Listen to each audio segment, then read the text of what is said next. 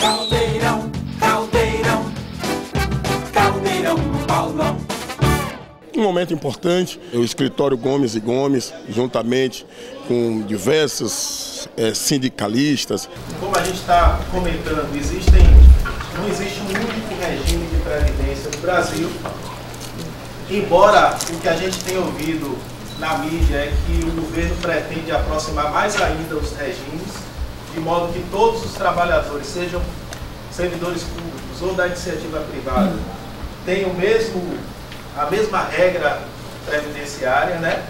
Porque hoje a gente tem, pode, o servidor público pode ser protegido por duas vias, principalmente o servidor público municipal, né? É, ele pode ser protegido pelo regime geral de previdência social, que a gente vai chamar de agora de RGPS, e também pode ser protegido por um regime próprio de previdência. Tá? Então a regra básica é a seguinte: a pessoa que se vincula ao município, que é servidor de município, que não optou por, por criar um regime próprio de previdência, o município tem autonomia para decidir qual regime é, a ser aplicado ao servidor público. Então, o município que não optou por essa via é, tem seus servidores todos vinculados ao regime geral. E assim, o regime geral tem esses detalhes que muitas vezes o pessoal, assim, eu, eu- eu posso dizer que no regime geral o cálculo do valor dos benefícios é mais complexo do que no regime próprio, né? Embora o regime próprio tenha também suas complexidades. Mas é, pode acontecer, inclusive, de haver uma discrepância muito grande entre, entre municípios vizinhos, tá? porque é, os professores que estão se aposentando agora e que são vinculados ao regime próprio, normalmente têm direito à integralidade. Tá? Enquanto que os professores que são vinculados ao regime geral se submetem a uma sistemática de cálculo que envolve fator previdenciário, envolve uma média dos salários de contribuição e não necessariamente a última remuneração, como acontece é, na maioria dos casos, ou pelo menos para os professores que estão se aposentando agora. Tá? Embora a integralidade e paridade tenha, se extin- tenha sido extinta em 2003, os professores que estão se aposentando agora normalmente começaram a trabalhar antes de 2003, então teriam direito à integralidade. Mas como eu disse, o foco vai ser o regime geral. Tá? Então assim, o regime geral é o regime que é administrado pelo INSS, tá? e ele é, protege os trabalhadores da iniciativa privada e os servidores públicos que não têm regime próprio, tá? inclusive os servidores públicos efetivos que não têm um regime próprio de previdência. Tá? Porque, como eu disse, uma pessoa que tem um regime próprio de previdência, ou melhor, o município que tenha criado um regime próprio de previdência, automaticamente nesse município, todos os servidores titulares de cargo efetivo vão ser desvinculados do regime geral e serão protegidos por esse regime próprio de previdência. nesse evento aqui tão importante, é doutor? É um evento importante porque trata de uma matéria que é, é de grande interesse para os trabalhadores, que é a questão previdenciária, né? Então, em algum momento da vida, o trabalhador vai precisar da previdência. É importante que todos conheçam as regras de concessão de cada um dos benefícios que a previdência oferece, né? Quais são as temáticas que o senhor está apresentando hoje para essas pessoas? Muita pergunta e muito concorrido esse evento aqui no dia de hoje em Feira de Santana. Olha, como o evento é direcionado para representantes da PLB, né, que são os sindicatos dos professores, o foco da gente é tratar dos direitos dos professores junto à Previdência Social. Então a gente vai explicar para eles, e já está explicando, informações, regras sobre aposentadoria por tempo de contribuição, sobre eh, aposentadoria por idade, né, e servidores que são vinculados a regimes próprios de previdência também. E na parte da tarde a gente vai tratar de questões práticas, né, de como consultar resultados de benefícios pela internet, como requerer benefícios pela internet, como utilizar a ferramenta disponibilizada pelo INSS chamada Meu INSS, né, onde o servidor pode, o trabalhador pode acessar vários serviços que normalmente eram oferecidos na agência do INSS. Então, a, a- o objetivo do encontro é passar a parte teórica e também um pouco da prática de como acessar os serviços previdenciários. Né? Doutor Lúcio Santana é especialista nessa área. Como é que o senhor vê essa faixa etária de idades? Olha, é uma discussão que já vem sendo tratada já há algum tempo, né? É a questão da reforma da Previdência e o ponto mais discutido, na verdade, é a questão de uma idade, estabelecer uma idade mínima para aposentadoria. Né? Todas as reformas que foram é, que se discutiu, que se tentou encaminhar para o Congresso Nacional, foi no sentido de estabelecer uma aposentadoria com essa idade mínima, ou seja, acabando com aquela possibilidade de uma aposentadoria por tempo de contribuição somente. Então a gente não sabe ainda os detalhes, é, já que a semana que vem que o governo vai encaminhar para o Congresso, mas a tendência é que se torne mais difícil o acesso ao benefício já que se justifica que a Previdência passa por uma crise financeira e é preciso ajustar os benefícios para se adequar à nova realidade que o Brasil se encontra. Né? Então, a gente só resta a gente aguardar para saber como é que vai ser o texto da proposta e fazer as críticas necessárias. Né? O presidente do Congresso Nacional, Rodrigo Maia, ele está sofrendo um desgaste muito grande nas redes sociais, principalmente porque ele fez um discurso muito infeliz, porque, segundo o discurso dele, o trabalhador tem que trabalhar até a morte. Já os políticos se aposentam tão cedo. Então, dois pesos e duas medidas?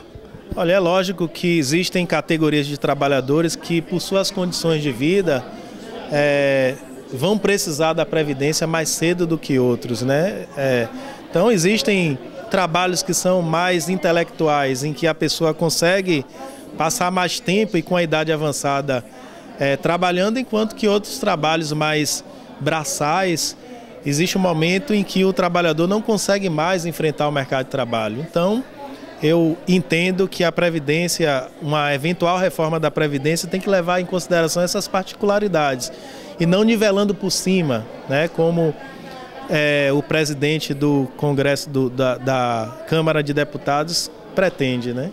Ou pelo menos na sua fala ele demonstrou é, que, que qualquer trabalhador poderia trabalhar até 85 anos. Eu acho que não é bem assim que acontece. Cada caso é um caso e as particularidades têm que ser consideradas numa proposta de reforma. Para ter um evento tão importante dessa natureza, com 56 cidades do interior da Bahia, participando dos sindicatos da PLB, tinha que estar aqui o Rui Oliveira, ele que é um ícone à frente da PLB, coordenador geral na Bahia. Uma luta muito grande, um enfrentamento muito grande e um momento ímpar, já que nesse momento está encaminhando para a Câmara essa reforma partidária. Mais uma atividade de formação política, reunindo mais de 50 municípios da base da PLB. Acho que é uma formação importante tendo em vista que o governo Bolsonaro vai tentar acabar com a Previdência. Então, toda essa discussão aqui de Previdência, Seguridade Social está ameaçada. Dia 20, o Bolsonaro manda para o Congresso Nacional uma proposta que é capitalização ou seja, acaba com o sistema de previdência do Brasil, um sistema que até hoje consegue reduzir desigualdades sociais e tenta implantar através do seu guru, que foi professor da Universidade do Chile na ditadura de Pinochet por mais de 10 anos, o Paulo Guedes, que vem com a proposta de capitalização. Se vocês forem no Google e botarem professores do Chile, vocês vão ver que o Chile tem o maior índice de suicídio do mundo entre funcionalismo público, porque a previdência lá é capitalização. Capitalização desobriga o patrão, flexibiliza os direitos, garante apenas que o patrão ganhe mais dinheiro com a sua empresa. Porque hoje, no regime do INSS, se eu contribuo, por exemplo, com 11%, o Estado ou o patrão tem que contribuir com o dobro, no mínimo.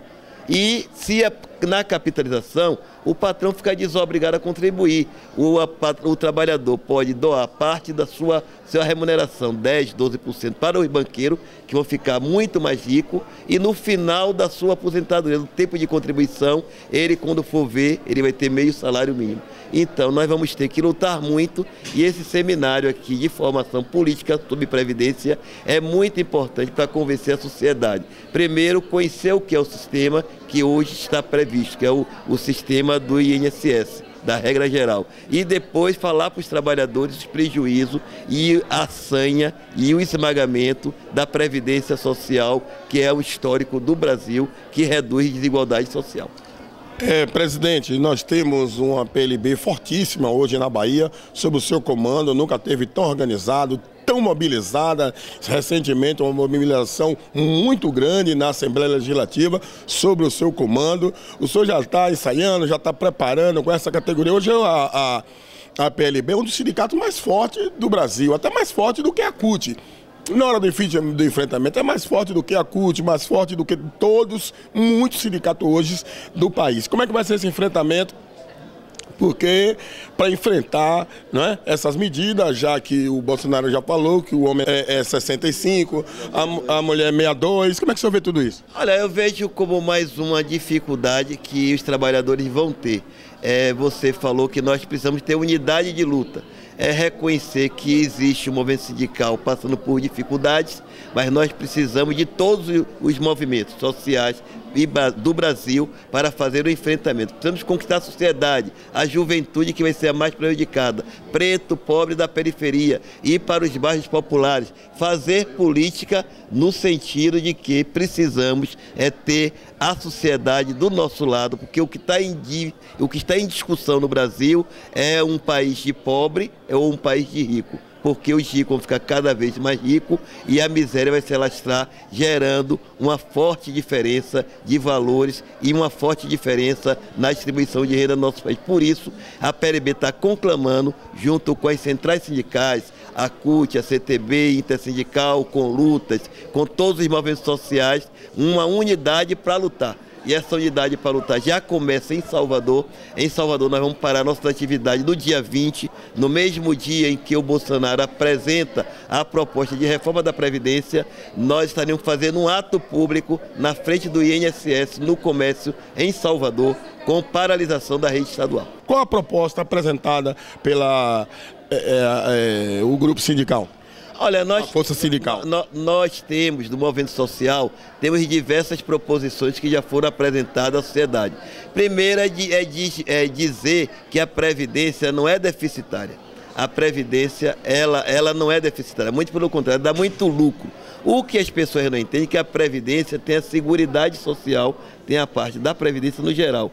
E muito dinheiro da Previdência foi desviado para outras finalidades que não a Seguridade Social. A Previdência financia muita coisa de empreiteiro, financia muitas obras que não são com a origem desse dinheiro. Então a gente quer discutir primeiro que a Previdência ela é superavitária ela dá superávit, ela dá lucro. E depois discutir o cálculo atuarial para mostrar a diferença que existe entre diversas regiões do país. Você não pode dizer que a expectativa de uma pessoa que mora em Feira de Santana é igual a de Taboca e do Brejo Velho, que faz fronteira no Piauí, que tem um péssimo índice de desenvolvimento humano. Então você quer tratar as coisas de forma igual quando elas são desiguais. Então a gente vai fazer uma forte campanha para valorizar a Previdência, valorizar os trabalhadores e ter uma segurança social para que os trabalhadores tenham, dentro dessa perspectiva, maior qualidade de vida e maior expectativa de vida. Rui, o escritório Gomes e Gomes, doutor Noildo, esse pontapé inicial aqui em Feira de Santana hoje, a maior cidade do interior da Bahia, foi fundamental, já que eh, a PLB mostrou força, reunir 56 cidades do interior da Bahia, hoje aqui, nesse evento, não é fácil, né, Rui? Então mostrou um pontapé inicial. É, é, como você falou, respeitando as outras entidades, mas mostrou muita força. Nós vamos fazer mais três encontros na Bahia. Vamos reunir todos os 417 municípios agora até o mês de março, para que possamos ter condições, informações e conteúdo para combater a reforma presidência, da Previdência de Bolsonaro. Muito obrigado. Não, antes de encerrar, o senhor está dando uma dor de cabeça terrível ao governador Rui Costa, né? O senhor está marcando de firme, inclusive, na Assembleia Legislativa. Foi uma guerra muito grande e o senhor saiu vitorioso mais uma vez. É, nós temos que separar o, o governo do movimento. O governo faz a responsabilidade dele, agora ele não pode ir de encontro aos trabalhadores, até porque não foi votado para isso. Então nós fizemos 18 assembleias, invadimos a Assembleia Legislativa, expulsamos os deputados, teve que botar mais de 500 policiais, eles votaram na calada da noite, lá dentro, num, num anexo, e a luta continua. Já estamos em estado de greve e para ir para a greve basta que o governador é, faça mais um movimento contra a categoria. Dando pontapé inicial nesse momento crítico que vive o país, que é o envio da reforma partidária ao Congresso Nacional. Olá, um bom dia a todos.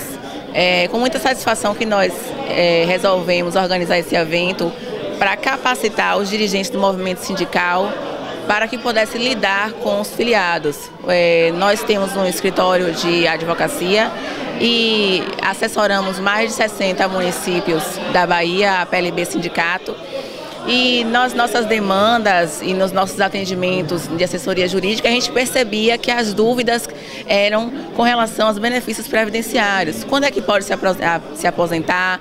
Como se preenche os requisitos? Quais os critérios? Qual o valor da aposentadoria? Então as dúvidas eram crescentes. Então, para facilitar, nós resolvemos organizar esse evento e convidar os dirigentes da, do movimento sindical para que pudessem se capacitar e eles mesmos atenderem os filiados e responderem esses questionamentos. Então não precisaria aguardar o dia do nosso atendimento jurídico, né? Os próprios dirigentes hoje estão se capacitando para poder atender as demandas dos seus filiados. Feira de Santana sai na frente com esse mega evento para capacitar os diretores sindicais das PLB da Bahia para o enfrentamento nesse momento de crise que é a reforma partidária, doutora.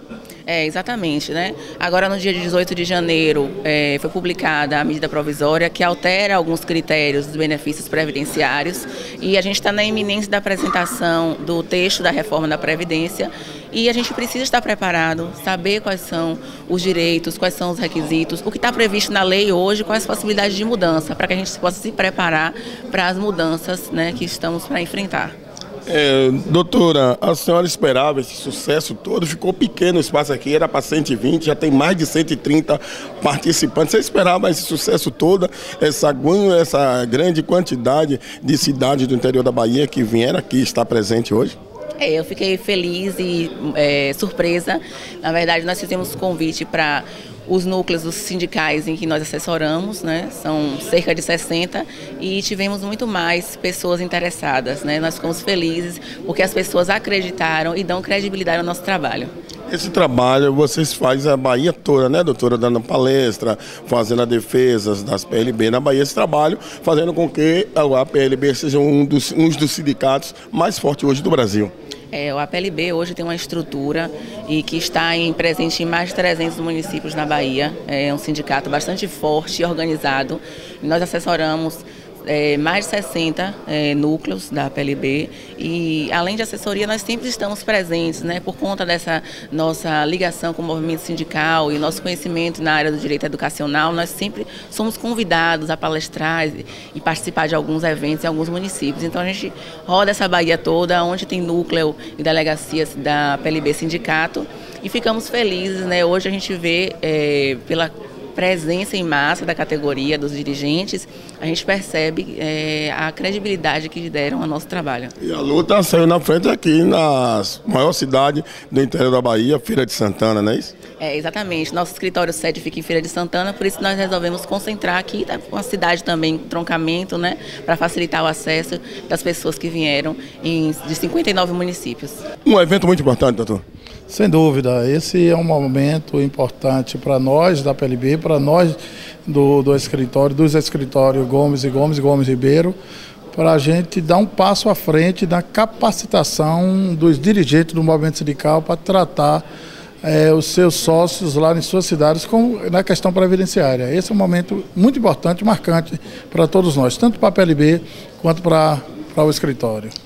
Doutor Noildo, o senhor zeloso é, com os sindicatos, o senhor que tem advogados, o sindicato que tem enfrentado essa luta. Dia 20, o presidente encaminha à Câmara dos Deputados a reforma partidária. O senhor já está aqui informando para esses coordenadores como vai ser, o que pode ser, quais são os direitos e deveres. Momento importante, saindo na frente. E um um momento importante, já que o país vive um momento crucial. A reforma da Previdência, na verdade, o, o que o governo vai apresentar é uma extensão daquilo que o Temer apresentou e nós conseguimos derrotar a proposta apresentada por Temer. A proposta da reforma da Previdência, Paulão, é uma necessidade de diálogo com a comunidade. O governo tem que propor dialogar com a sociedade brasileira essa reforma da Previdência. Ele não pode impor, junto com, com o Congresso, impor uma reforma ao conjunto da sociedade brasileira, porque isso vai refletir na qualidade de vida da sociedade. Então a gente tem que, de fato, discutir a reforma da Previdência, mas o governo não pode fazer como pretende. Por exemplo, o modelo chileno de previdência não interessa para o Brasil, inclusive no Chile já está em movimento revertendo o modelo chileno, não serve mais de capitalização, porque não serve para o Brasil isso. Como é que o senhor viu a questão do presidente do Congresso Nacional, o Rodrigo Maia, com aquela afirmação que vem sofrendo um grande desgaste, principalmente nas redes sociais, já que, pela opinião dele, o trabalhador vai se aposentar quando já estiver à beira da morte? Na verdade, Paulão, existe uma insensibilidade por parte de quem está no comando da reforma da Previdência um discurso de que o trabalhador pode trabalhar até os 80 anos. Quem, quem, quem é esse trabalhador mesmo que trabalha até os 80 anos? Provavelmente, algumas categorias, a gente tem assistido é, até os 80 anos. Vamos colocar aqui o advogado, o médico, o dentista, o contador, esses profissionais liberais, eles trabalham até. Mas a reforma não está em discussão, esse, essa parcela que não chega a 1% da sociedade brasileira. Nós estamos falando o grosso dos trabalhadores. A reforma, é, o que se tem colocado até aqui, é, na verdade, uma retirada de direito dos trabalhadores. E não concessão, não é para otimizar os recursos da autarquia que o governo está fazendo a reforma. Porque se o governo, de fato, quiser fazer uma otimização dos recursos da, da, da Previdência, necessariamente ele teria que ir atrás dos sonegadores, dos devedores. O governo não está em pauta que o governo vai correr atrás do meio trilhão que as empresas, inclusive empresas públicas, devem ao INSS. Então, que é, na verdade, é uma tentativa de retirada de direitos. E isso a sociedade brasileira vai reagir. O senhor começou aqui em Feira de Santana, o senhor vai dar continuidade aí pelo interior da Bahia, com esse belíssimo trabalho que o senhor faz à frente dos escritórios Gomes e Gomes? Na verdade, assim, o nosso escritório, temos 10 escritórios distribuídos na Bahia, não é?